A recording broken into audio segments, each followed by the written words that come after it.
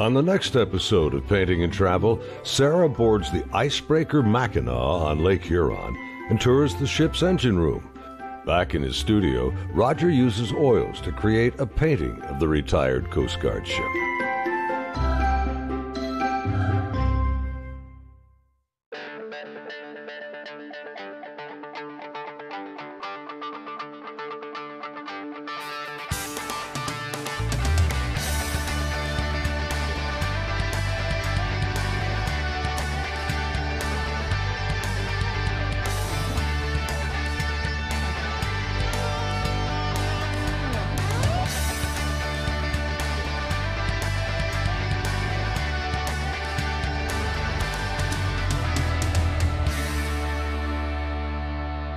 In the state of Michigan, we traveled up the eastern coastline along Lake Huron, arriving in the village of Mackinaw City, last stop before you cross the Mackinac Bridge going to the Upper Peninsula. This is the retired icebreaker used by the U.S. Coast Guard and the subject of Roger's next painting. Later, we'll tour the inside and find out how it performed, breaking through the frozen waterways to create safe passage. I'll be using oil paints today on this 24 by 30 inch linen canvas. I've primed this uh, canvas with a few different muted colors, similar to the colors I'll be using on the finished painting, along with this dull sky, this wood here, and this grassy area. On my palette, I have titanium white, ultramarine blue, cerulean blue, alizarin crimson, Indian yellow, cadmium yellow. These are earth colors here, burnt umber, raw sienna, burnt sienna, yellow ochre.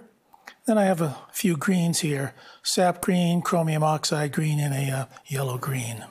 This is an interesting ship, and I like the composition here. This is an old structure here that used to be used with railroads to bring railroad cars onto a ship.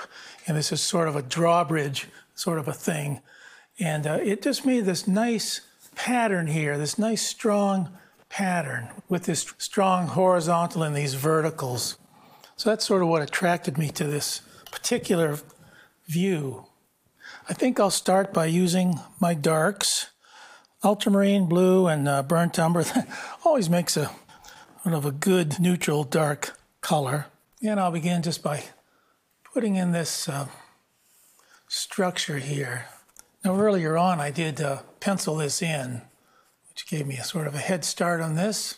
It's always hard to know where to start on a painting, you know, it's just uh, got to start somewhere. So I usually begin with my darks, work towards my lights, but that's not always the case. These were very heavy beams here. Now I'll mix up my colors some. I'll take some of this alizarin crimson, ultramarine blue, make sort of a purple color, but these are all so dark at this point, it really doesn't matter. It's, it's almost black, but not quite. You would see a difference if I were to use black. It would just not have quite the, uh, the look. I won't put any white on my brush right now. That will come real soon, but I just want to stay with my darks at this first stage without using any white. These are big counterweights here as this drawbridge goes up. These two big uh, barrels, I think they're full of concrete or something, they act as a counterbalance. Makes a nice design. This particular pier is not used at all anymore. It's long since outlived its usefulness. I think this was used long before the uh, Mackinac Bridge came into existence. Now over on this side we have some greens. I'll just pick up my sap green, a bit of burnt sienna, and this is very dark as well. On the first stage of this painting, uh, it's, it's all about blocking in the big shapes. See how I'm going to lose that there? I'll put a little bit more definition in there later on, but right now this works as one large area, one large shape. Well, those are my very, very darks. Uh, right now I can begin to add a little bit of white to these areas. So I go from dark to light. Some of these areas of grass back here are slightly lighter. I want to vary my colors here. I'll dip into my yellows, change these greens somewhat. I still want to keep these fairly dark. I try not to fuss at all about this brushwork yet. I just try and keep it loose. Gosh, one color I didn't put out was the uh, cadmium red, and I should do that. I put out the uh, crimson and put out some cadmium red there. And my burnt sienna. That is not a very bright uh, look on the hull of this ship. And on this side over here, it's catching more sunlight. Cerulean blue and a bit of brown make a nice gray. And here's this white stripe on the side of the ship. And of course, since it's not getting hit by bright sunlight, it's not a pure white, it's sort of a grayish color. That's the thing about being an artist. You ask anybody what color this stripe is, and they'll say that's a white stripe. But as an artist, you have to look at it, and as you look at it, you say, well, it, the local color might be white, but if I paint it, you know, it's in shadow or maybe it's in sunlight, so that really changes the real color of it. I'm losing some of my drawing again. I've got a lot of portholes and things up in that area. I'll just, just lose those for now.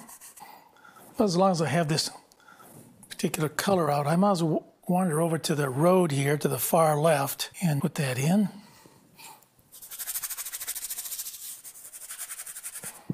About the same color as the uh, ship there. I think I'll put a little yellow ochre in that though and make it slightly warmer.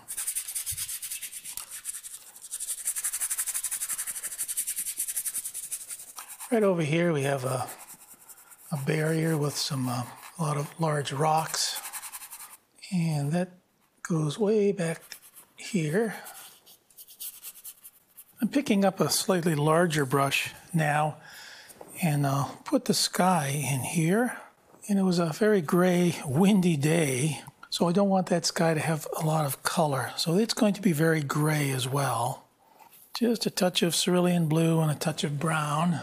Let's see, you know, that's, that's about the right value now, but I think it needs to be a little bit lighter, a little bit more cheery. So add this slightly lighter value here and slightly brighter color of the sky.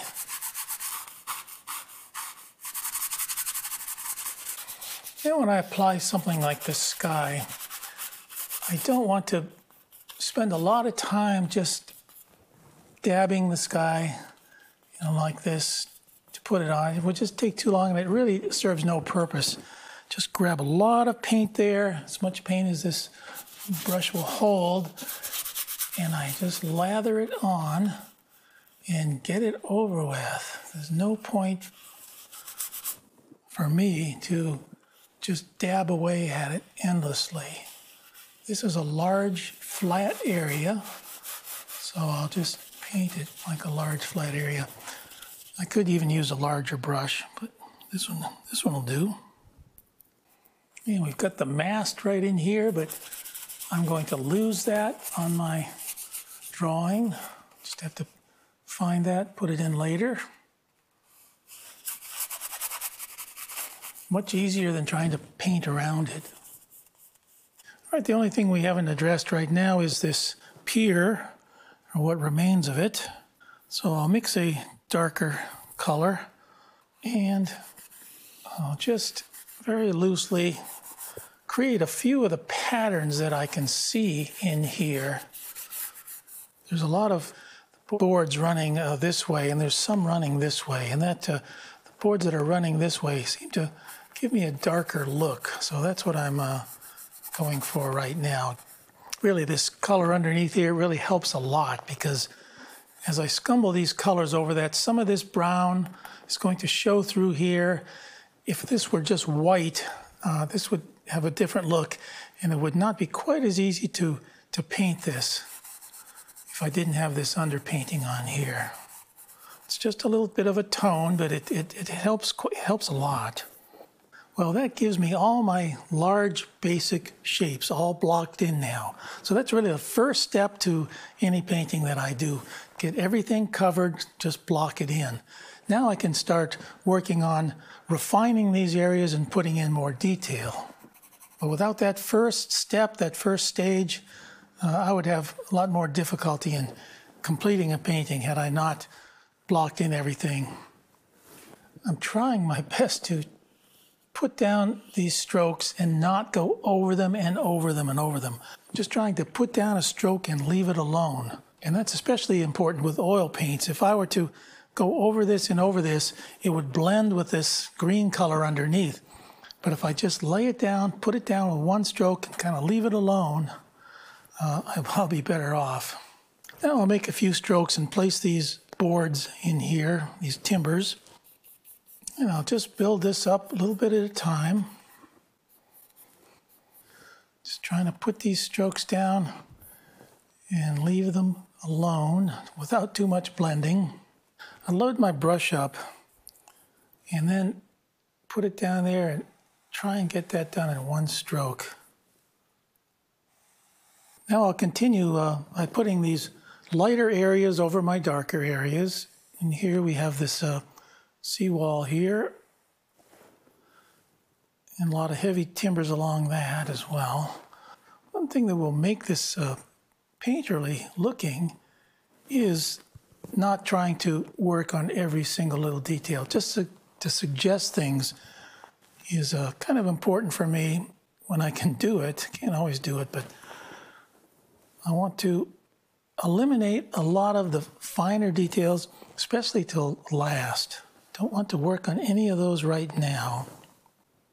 Now I blocked in all these big beams here. Now it's time to refine those as well. Some are slightly lighter. So I'll just go over that, hit that with one stroke. I don't want to work on any one area of the painting for very long before I jump to another area of the painting. So now I'll go back over here to the road. It's a dirt road here. Some of this road is sort of spilling over onto the grass. And although it was an overcast day, I'm going to uh, put a bit of sunlight, just a little bit of dappled light here and there. One nice thing about painting is I don't have to rely totally on my photograph. I'm, you know, free to change it around and improve it if I think I can. Painting like this is all about variations in color and value, but important for me to keep this as one large shape, not to break it up too much, to make too many separate little centers of interest, but just have more little areas within those large shapes. Now I can use a pretty large brush, even to make small lines. For instance, here on this uh, ship here, I'll just use the edge of this brush, go around here and make a fairly sharp line with it. Since I'm working in oils, I'm going to put this aside for a while and let it dry. That way when I come back to it, some of these areas won't be quite so wet and I can go over them a little easier.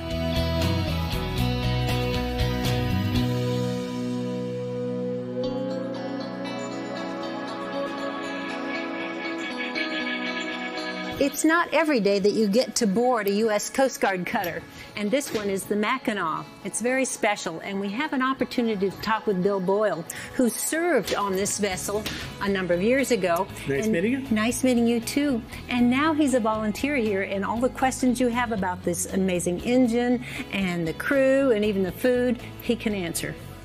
So I'll start off with the engine. They are 10 cylinder opposed piston Fairbanks Morse diesel, 2,000 horsepower.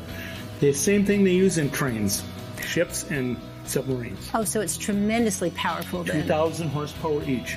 And we have a very special propeller on the Mackinaw in the very front of our ship.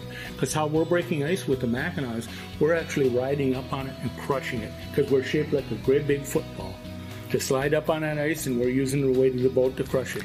But that bow propeller, that's helping us break the ice easier by pulling the water out from underneath it. That's fascinating. I always thought it must have something sharp on the front to sort of No. cut through it, but you're saying you're going up Right. and then sort of crashing down. Right.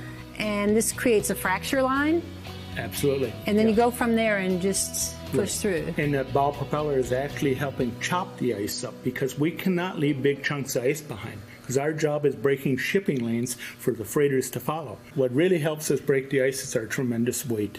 And we accomplished some of that with what we're built out of. This is the hull thickness of the Mackinaw. That's an inch and five eighths thick steel. It's got a little weight to it. Oh, yes, it does. This is about 20 times heavier than I thought it was going to be. And they built this incredible ship in just three short years down the Toledo shipyard during World War II, which meant quite a few of the workers that built this remarkable ship were women. Wanda the welder. We owe a lot to those women who We certainly do. kept the home fires burning as well as built things while That's the men were at war. So, how many crew did you have in your day? The normal crew of this ship when I was on here was 130. We each had our own bunk, but we were stacked three high. And it took that many because each engine room, and this is one of the engine rooms, each of these engine rooms would usually have a crew of five down here. Uh, throttleman, he's the one in charge of the engine room and knows how to repair things and how to keep it running. And underneath my, uh, myself, the throttleman, I had two oilers and two wipers. Well, the oilers, they're learning to become a, a throttleman eventually. Because you want that job because you don't get your hands dirty. You're the one that gives the orders. I see. And then the wiper's a brand new guy, so he's the one keeping the engines clean, wiping things down, grease and oil that's spilled, you know, spray. Yes, keep it all clean so that there's Keeping no chance of a, a sparked Right. fire. Correct, yeah. Bill, when you get ready to turn the engine on, what does that look like? Okay, they're started by high pressure air. We have to hold the alarm switch down. We give them a shot of air to start them and then run it up to run for running. And when the oil pressure comes up, we let go of that. Otherwise, a very loud horn would be going off until that oil pressure hits. And, and tell you that you did something wrong. Correct. How do you keep up your energy when you have to work this hard, this many hours? Do you have a special kitchen, special chef? They did feed us incredibly well on here. That was my favorite part of the boat was the food. Uh, we did eat good. Yeah. Now, being the engine room, this would stay warm enough to get through those winter months. of- Absolutely, yeah, very warm. That was the most comfortable time on here was the winter because you can control the temperature. Now in the summer it was extremely hot. It's so hot that we used to even have to take salt pills. I see, just to keep from passing out from losing so because much. these big locomotive engines put out a lot of heat. Yeah. Well, it's been really exciting to me to be down here and to see this. Thanks for taking time to tell me about it. And we're going to look around at some of the other rooms and look outside a bit. And I hope to see you again in fair weather. Okay, thank you. All right. All the best.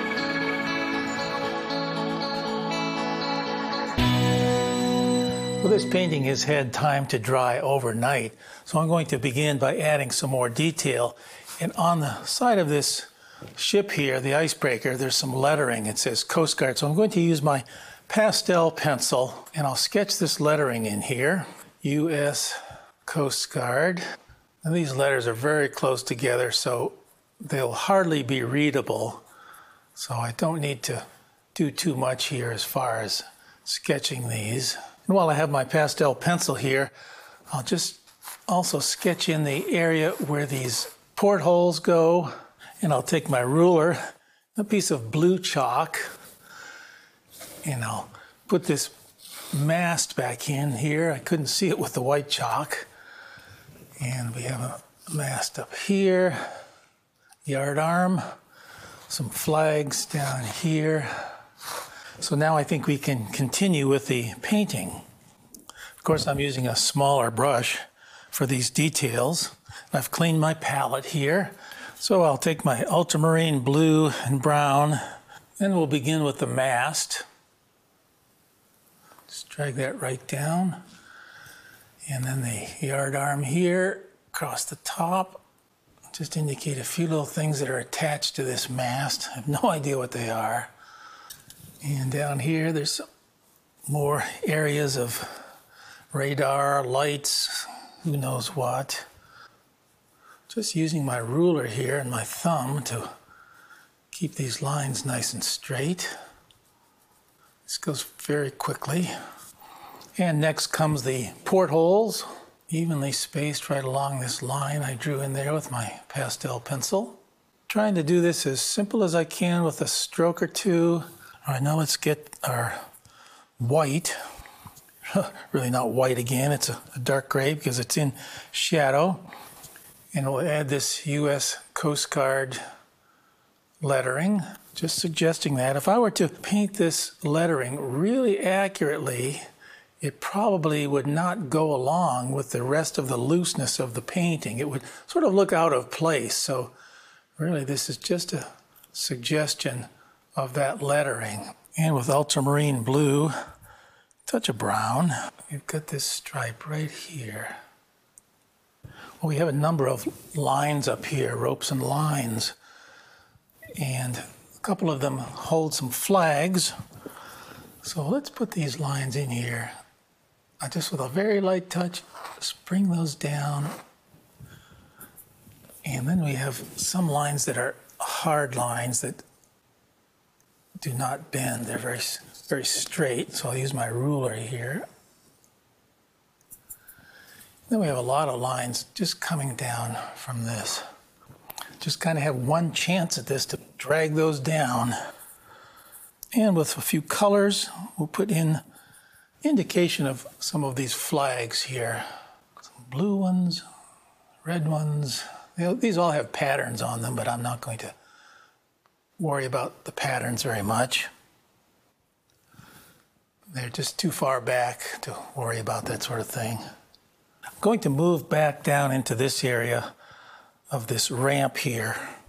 And I'll mix up my darker colors and just going to accent some of these. Before it was just a bit too wet in order to go in and add any detail. But now since this is dry, I can go over this and these colors won't blend and I can get a hard, hard line now, a hard edge, which I couldn't do when all these paints were so wet. It's just a lot of spaces and things between these boards. Now as things get closer in the foreground, there's always more definition. So anything up here is going to be sharper and harder edged than anything back here. Now there are some variations to that because I don't want everything up here so sharp and so detailed that it'll take my eye and interest away from this area, which is the center of interest. So I don't want to bring too much attention to this area down here. It's not the, it's not the most important area of the painting. This really is up here.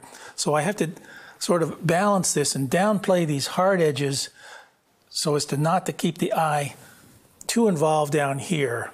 So I don't want to continue to add so much detail that it will distract from my center of interest. Hard to know when to really make that break, when to stop putting in detail. It's really putting in detail is, is a lot of, it's, you know, it's sort of fun, it's interesting, but I don't want it to distract from my main theme. There's a lot of weeds and things growing up here between these old timbers. Taking some greens and just with a flip of my brush, adding some of these weeds and foliage and things in here that's growing up over time. We even have some back here, just with a light touch, just flip that up. Just flip that up like that. We even have some up here. I sort of like this right up here. Just had a few little things growing up here. Now I always talk about keeping the large shapes is one large shape, but within those large shapes, I can refine that with more subtle shapes. So in here, I think I'm going to take a lighter value and change the color just to make some slight variations in all these boards. I'll make a few lighter, a few with different colors. I'm using some green here on these boards. It really just sort of ties all this together so we don't have such a foreign looking batch of colors here as opposed to the colors here. I'll take some of these colors here and I'll move those colors over to here as well. Now I can do the same thing with the uh, colors of this ship. We'll take some alizarin crimson and cadmium red,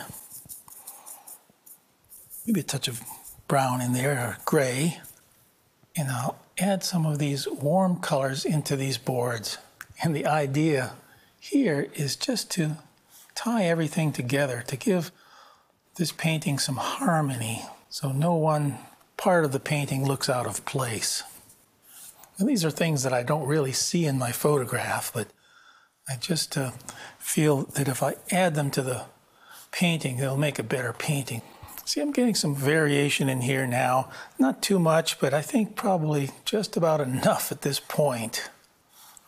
Don't see any spaces between these boards where I can see the water, But I'm going to add some anyway, just to give this a little more interest and character, like there's some, like these boards are separated.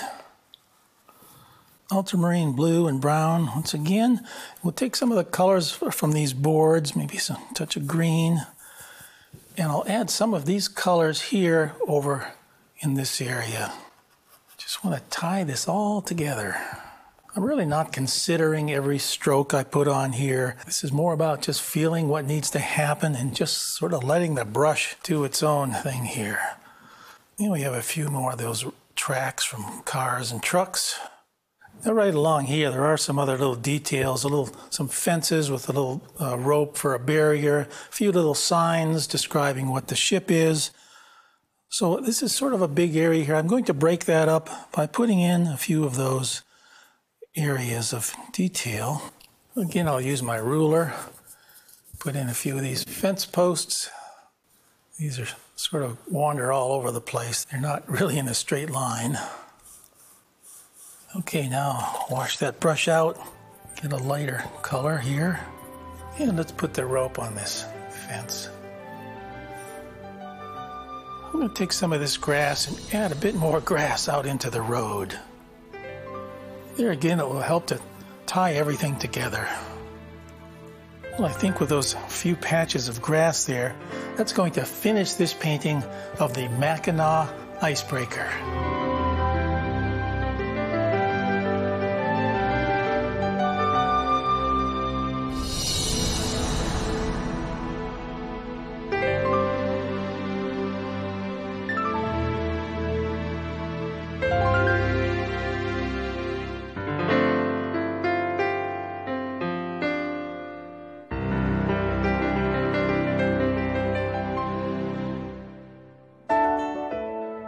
Information about painting and travel with Roger and Sarah Bansemer, visit paintingandtravel.com.